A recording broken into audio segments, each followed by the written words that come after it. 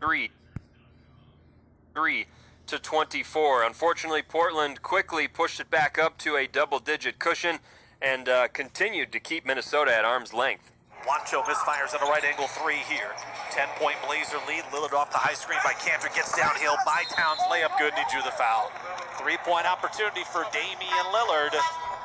It's going to be six straight points as Lillard is a 94% free throw shooter. Yeah, he knocked down the free throw, uh, three of his 10 first half points, kind of kept in check, uh, at least offensively, but he was the facilitator for most of that first half. He led the way with a game high eight assists, just two of six from the field, but uh, don't sleep on him. It only takes a little bit for him to get cooking. So Minnesota trailing there, and really for much of that second frame, this game kind of just slowed down to a crawl. Not a lot of rhythm.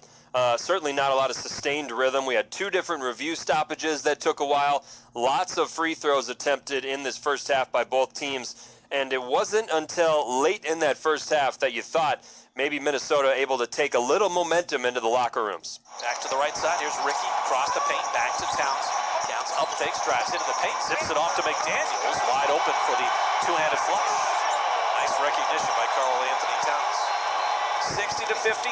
Timberwolves have climbed to within seven. Yeah, one of two first half assists for Cat there. Wolves got as close as six a couple different times but Portland able to nudge it back to nine with a Robert Covington triple. It is 60, 66-57 at the halftime break. Karl Anthony Towns leads the way for the Wolves with 15 points on 5 of 12 shooting.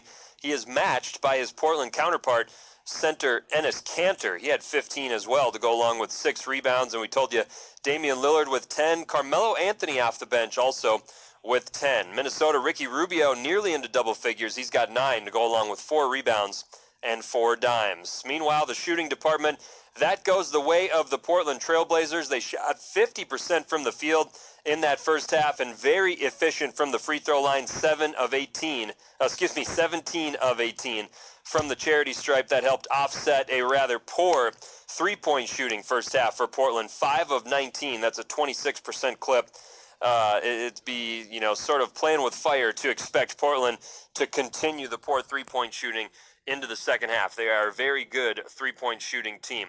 We told you the biggest lead for Portland was 13. Meanwhile, Minnesota just a lead very early in the game. They trailed for much of the rest of the first half.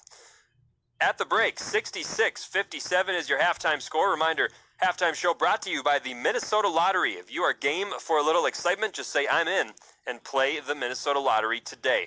So the Wolves trail by nine at the break here. We'll come back and update some other scores around the rest of the association.